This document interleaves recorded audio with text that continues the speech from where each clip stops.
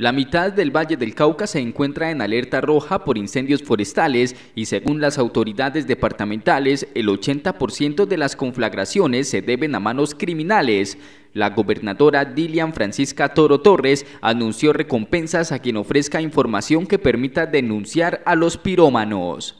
Existen pirómanos y lo que nosotros necesitamos es que la comunidad inmediatamente informe para que no se crezcan los incendios forestales, sino que los podamos eh, pues, eh, eh, inmediatamente ir a atenderlos. Entonces eso es algo que es muy importante decirle a la comunidad y bueno, hay que empezar a dar también recompensas para que puedan informar y así de esa manera evitar lo que está pasando en este momento con la deforestación precisamente por los incendios. Porque así como, como tenemos recompensas para la seguridad. Esto es muy importante para la seguridad, para la seguridad eh, ambiental, para, para todo el, desarrollo pues, nuestro como, como personas. Entonces yo creo que eso es fundamental y vamos a ver cómo lo organizamos. Precisamente unidades de los organismos de socorro de Guacarí, Buga y El Cerrito atienden desde hace unas horas un voraz incendio forestal que se registra en zona rural del municipio de Ginebra.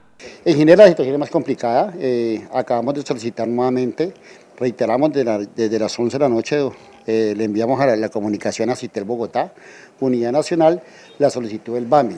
Ya el ingenio Pichichi nos ha dado el visto bueno para sacar el agua del ingenio, del agua del ingenio, y estamos a la espera en este momento de, que Ginebra eh, nos haga la solicitud formal, aunque ya nosotros tenemos todo adelantado con la Unidad Nacional, con CITEL y con la Fuerza Aérea Colombiana.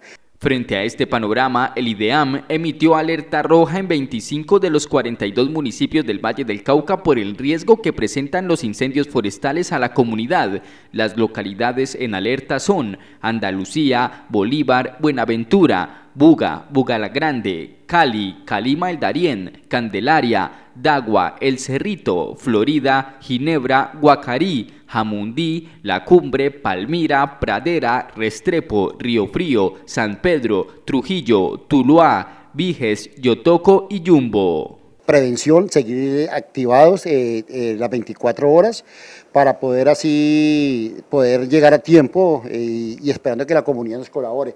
Es muy importante tener la comunidad que nos comunique porque somos aproximadamente un 80% de los incendios forestales presentados hasta hoy ha sido por pirómanos.